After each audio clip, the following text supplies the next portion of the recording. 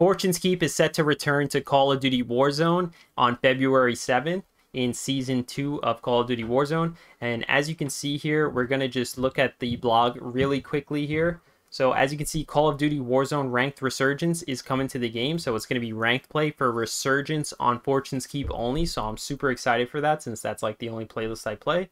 And Fortune's Keep is making a comeback on February 7th. And there's going to be a few slight changes to the map. There's going to be a few different POIs added to the original map. Since there's probably, uh, since now you can swim in Warzone, they're going to add like POIs that have some water with them. So this is what the map looks like. We have Town, Ground Zero, Overlook, Graveyard Terraces, Gatehouse, Keep, Connie, Outpost, Winery, Lighthouse, and Pier. And these are just some images of the map here. Pretty much looks the same except this area there's fishing docks and cliff paths. So this is a new POI here. Graveyard looks the same.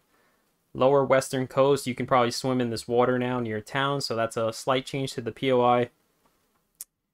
We have Overlook, which looks pretty much the same. Connie Outpost looks the same. You can probably swim now, so that's a little bit different. And Lighthouse, a little bit different. Winery, East Coast. Gatehouse Center looks the same.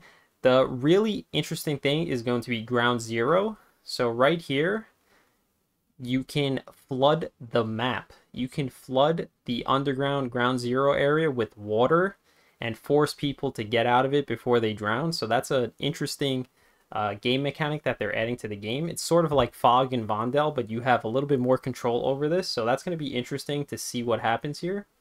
So that's super interesting, and that's everything for Resurgence.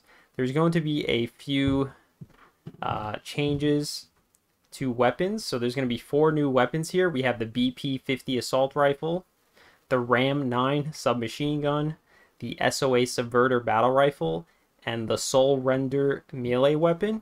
So those are the four new weapons that are going to be available in Season 2. Not at the start uh, necessarily, but throughout Season 2, those are going to be the four weapons that you can get.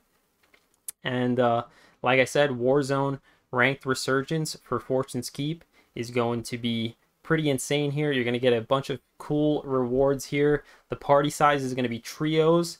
Uh, map is going to be Fortune's Keep, game mode is Resurgence, and you can't use certain things like shotguns, riot shields. So it's going to be like the ranked playlist on Al Mazrah, but implemented into Fortune's Keep Resurgence. So I'm super excited for that, and I can't wait to try it out. Let me know what you guys think in the comment section below. Do you think Season 2 of Warzone is going to be an L or a dub? Let me know in the comment section below. Thanks for watching. Peace!